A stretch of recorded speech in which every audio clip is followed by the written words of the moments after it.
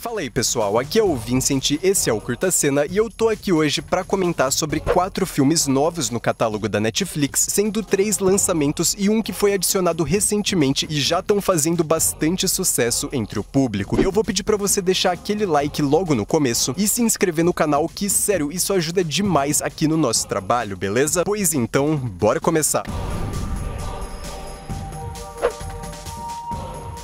Vamos abrir a lista de hoje com um filme novo da Netflix, um drama de 2022 chamado O Violino do Meu Pai. De um lado, a gente acompanha Ali Rissa e a sua filha pequena Oslin, que ganham a vida fazendo apresentações de violino na rua de maneira ilegal. A polícia vive perseguindo os dois. Já do outro lado, vemos o irmão mais novo do Ali e tio da Oslin, Mehmet, que também é um violinista, só que de muito sucesso no país. Ao contrário do irmão, ele é rico e famoso. Tá, mas por qual motivo um irmão prosperou na carreira de músico enquanto o outro vive na pobreza? Bom, essa é uma resposta que o filme vai te entregando aos poucos, quando os dois irmãos, há muito tempo afastados um do outro, são forçados por circunstâncias do destino a se reaproximar. É uma história bem comovente que, embora às vezes apele demais para o melodramático, fica um pouco piegas, consegue ainda assim emocionar o espectador com cenas movidas de fato pela música e atuações eficientes do seu elenco.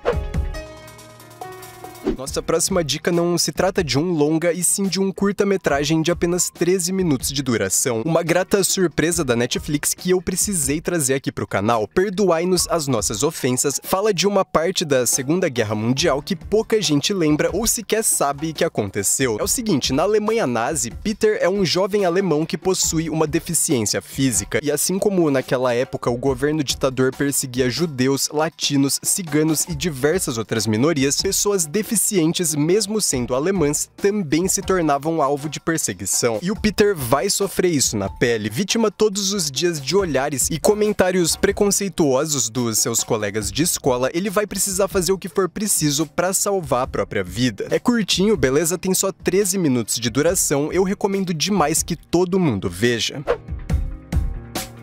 Seguindo agora com uma história bizarra da vida real que até hoje em dia dá o que falar e gera bastante discussão a respeito das leis aqui do Brasil. Eu falo de O Nome da Morte. Júlio Santana, interpretado pelo Marco Pigossi, levava uma vida pacata numa cidadezinha no interior, porém não tinha boas condições financeiras. A mudança surge no seu dia a dia quando o seu tio Cícero, um policial morador da cidade grande, oferece um emprego para seu sobrinho, prometendo boas oportunidades e um bom salário. Animado, o Júlio aceita o convite, só que né, daquele jeito, sem nem imaginar o que é que viria pela frente. Olha, só o que eu te digo é que esse tal emprego envolve fazer coisas no mínimo absurdas e pesadas que o Júlio jamais imaginou que um dia precisasse fazer. Bom, você vai entender tudo o que aconteceu. É uma história que divide demais a opinião das pessoas. Eu não vou me aprofundar nos detalhes do que foi que o Júlio fez para não te dar spoiler. Depois que você assistir, com certeza vai tirar suas próprias conclusões.